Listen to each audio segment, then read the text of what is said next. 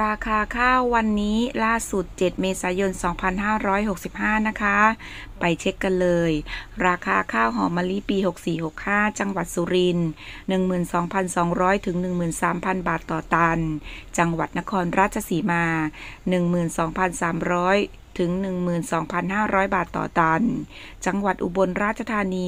12,000 ถึง 12,700 บาทต่อตัน จังหวัดศรีสะเกษ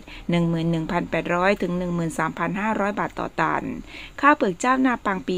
65 จังหวัดนครสวรรค์ 8,400 ถึง 8,700 บาทต่อตัน จังหวัดพิจิตร 8,400 ถึง 8,600 บาทต่อตัน จังหวัดพิษณุโลก 8,500 ถึง 8,600 บาทต่อตัน จังหวัดสุพรรณบุรี 8,700 ถึง 8,800 บาทต่อตัน จังหวัดพระนครศรีอยุธยา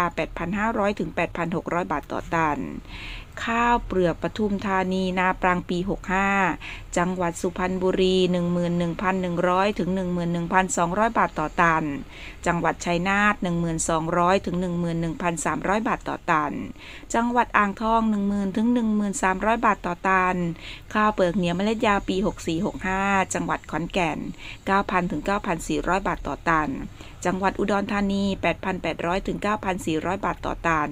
จังหวัดสกลนคร 8,600ถึง9,200 บาทต่อตัน หมายเหตุราคาข้าวเปลือกหนักความชื้น 15%จ้า